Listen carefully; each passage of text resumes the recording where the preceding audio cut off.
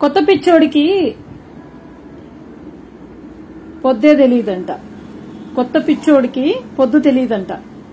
అలా ఈ మధ్య కాలంలో ఒక కొత్త పిచ్చోడు పొద్దు తెలియక వాడికి ఇష్టం వచ్చినట్టు వాక్కుండా కూర్చుంటా ఉన్నాడు. ఓకే. అందరికీ బాగుండానన్నా నేను ఒకసారి టాపిక్ వెళ్ళాలనుకుంటున్నా. అందరికీ అందరూ బాగున్నారని కోరుకుంటున్నా. నేను బాగుండానన్నా. థ్యాంక్ యూ ఒక కొత్త పిచ్చోడు వాడి మీద సిబిఐ వాళ్ళు ఛార్జ్ షీట్ ఫైల్ చేస్తే వాడి మీద సిబిఐ వాళ్ళు కేసులు అభియోగిస్తే వాడికి ఎక్కడ ఏం జరిగినా సరే ఎక్కడ ఏం జరిగినా సరే దానికి అంతటికీ కూడా ఈ ఆంధ్రప్రదేశ్ రాష్ట్ర ముఖ్యమంత్రే కారణము అంటూ వ్యంగ్యాస్త్రాలు మాట్లాడుతూ వ్యంగ్యంగా మాట్లాడుతూ అసలు ఈయనకి పని బాట ఏమీ లేదు ఇంకా ఇంకా వేరే పని కూడా వాడికి లేదు. బేకార్ నా కొడుకుల్లాగా మైకులు మైకులు పెట్టించుకొని కెమెరాల దగ్గరికి వచ్చి పిచ్చివాగుడు వాగే ఒక పిచ్చి కుక్కకు నేను ఈరోజు సమాధానం చెప్పాలనుకుంటున్నాను. అరే రఘురామకృష్ణంరాజు అనే ఒక పిచ్చి కుక్కకు నేను ఈరోజు సమాధానం చెప్పదలుచుకున్నా. అరే సిగ్గు ఎగ్గు లేని రఘురామకృష్ణంరాజు నువ్వు ఏ పార్టీ బీఫామ్ మీద గెలిచావురా ఫస్ట్? అంత సిగ్గుమానం ఉన్న నా కొడుకు అయితే నువ్వు రిజైన్ చేయరా అని ఆఖరికి నాలాంటి కార్యకర్తలు సామాన్యులు కూడా అడుగుతున్నారు. సిగ్గున్న నా కొడుకు అయితే నువ్వు రిజైన్ చేయరా?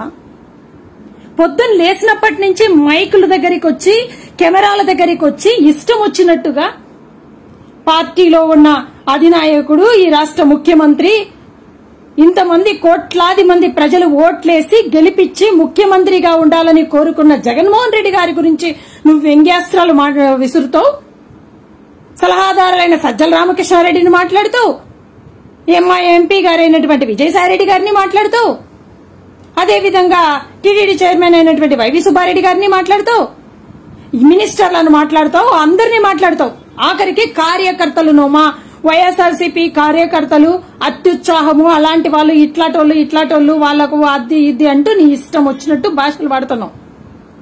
నేను ఈ రఘురామకృష్ణమరాజుకు ఒక్కటే అడుగుతున్నా. సిబిఐని మా ముఖ్యమంత్రి జగన్మోహన్ రెడ్డే ప్రయోగించాడని చెప్పుకునే సిగ్గులేని విధవా? ఒక పార్టీలో గెలిచి ఒక రాజ్ ఒక పార్టీ బీఫామ్ మీద గెలిచి ఆ పార్టీకి ఎంపీగా ఉన్నటువంటి నువ్వు ఏం అడక్కదినే పండ్రా నీకు?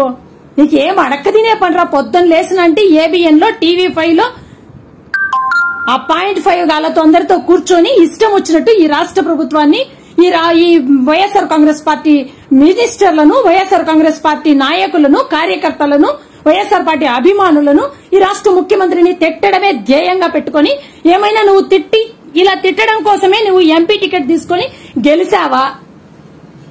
అంటే సిక్కులేని నా కొడుక ఒక రోజు రెండు రోజులు ఏదైనా ఖాళీగా ఉన్న వాళ్ళు ఈ రోజు ఎంతో మంది యువత కానివ్వండి మాలాంటి మహిళలు కూడా ఖాళీగా ఉన్నాము ఏదో ఒక పని చేయాలా బేకారీగా ఉంటే ఇట్లా బేకార్ అయిపోతారు అసలు ఖాళీగా ఉంటే ఎలా బతుకుతాము ఎలా ఇలాంటి బతుకు బతకకూడదు?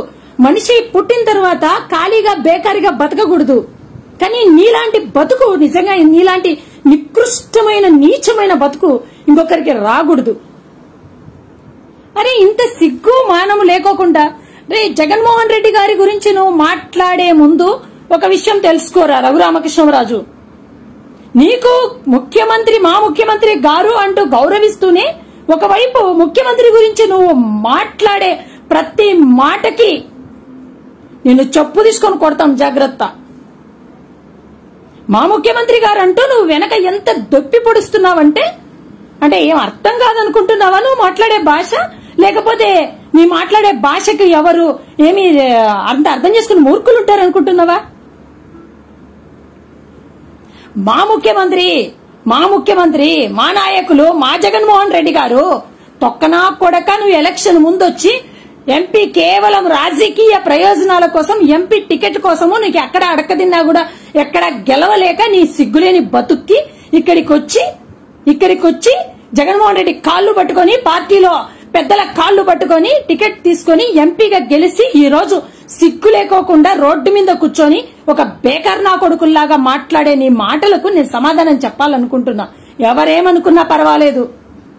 మా జగన్మోహన్ రెడ్డి మా ముఖ్యమంత్రి మా నాయకుడు మా వైఎస్ఆర్సీపీ నాయకులు మా జగన్మోహన్ రెడ్డి విలువలకు విలువలకు విలువలకు ఎక్కువ స్థానం ఇస్తాడు కాబట్టే విలువలు పాటిస్తాడు కాబట్టే విలువలు పాటిస్తాడు కాబట్టి ఈ- రోజు నీలాంటి బజారు కుక్కలు రోడ్డు మీద కూర్చొని రోడ్డు మీద కూర్చొని పొద్దున్న లేచిన అంటే ఆ బూతుకిట్టుగాడి ఛానల్లో కూర్చొని టీవీ ఫైవ్ పాయింట్ ఫైవ్ వాడు ఆడా మగ తే- తేడా తెలియని కొంతమంది ఇంకా వాళ్ళకు జర్నలిజం కంటే బ్రోకరిజం మేలేమో వాళ్ళు బతుక్కోవాలంటే అలాంటి వెధవల దగ్గర కూర్చొని నువ్వు రోజు ఈ విధంగా జగన్మోహన్ రెడ్డి గారి గురించి ముఖ్యమంత్రి గారి గురించి సొంత పార్టీ నాయకుల గురించి నువ్వు మాట్లాడే భాష ఏదైతే ఉందో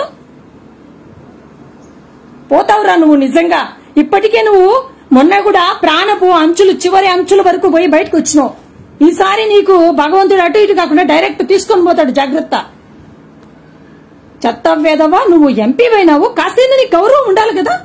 కాస్తైనా నువ్వు ఆ గౌరవాన్ని నిలబెట్టుకోవాలి కదా. ఏం బేకారు పనిరా నువ్వు? నిన్ను గెలిపించిన నీ సొంత ఊరు నీ నీ నియోజకవర్గానికి పోక నువ్వు ఎన్ని ఎన్ని సంవత్సరాలు అవుతుందిరా?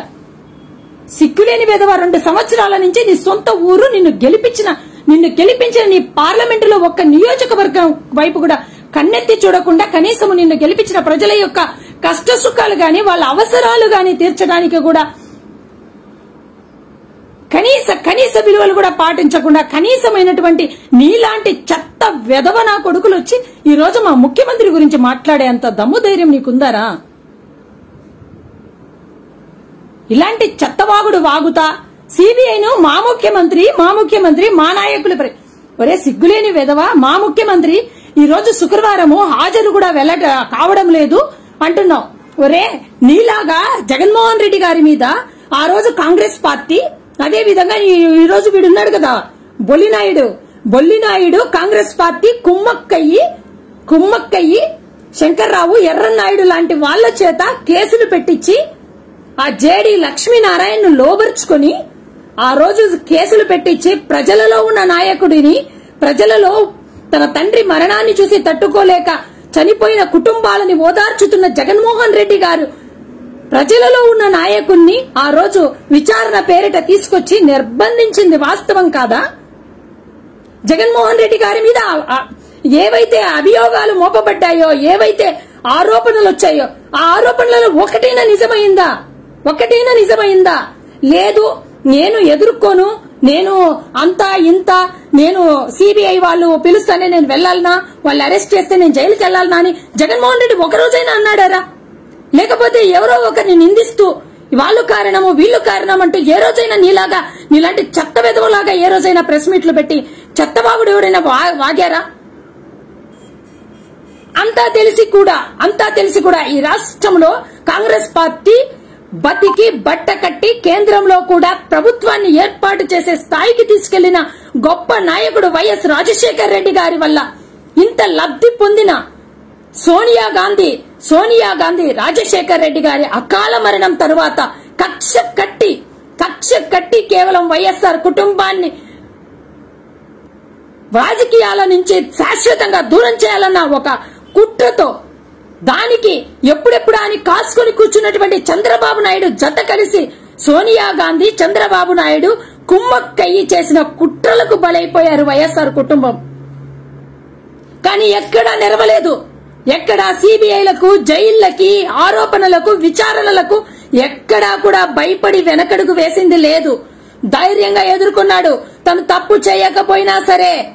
తాను తప్పు చేయకపోయినా సరే ఆరోపణలను నిరూపించే వరకు తను జైలు శిక్షకు కూడా సిద్ధమై జైల్లో కూర్చున్నాడు తప్ప నీలాగా కుక్కల్లాగా రోడ్డు మీద నాలుగు ప్రెస్ నలుగురు ప్రెస్లను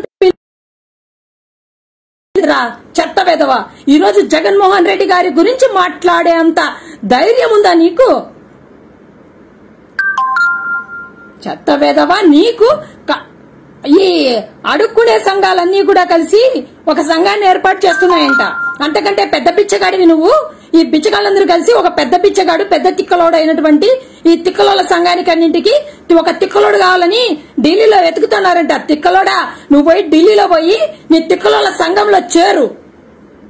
నీకు అంతకంటే వేరే పని పాట ఏమి పీకే పని ఏం లేదు ఇక్కడ. రఘురామకృష్ణరాజు నీకు ఒకటే చెప్తున్నాం. నా మా నాయకుడికి మీద ఆరోపణలు వస్తే మా నాయకుడు మా నాయకుడి మీద ఆరోపణలు వస్తే ధైర్యంగా నిలబడ్డాడు. మా నాయకుడి మీద ఆరోపణలు వస్తే ఎక్కడా కూడా వెనకడు వాళ్ళ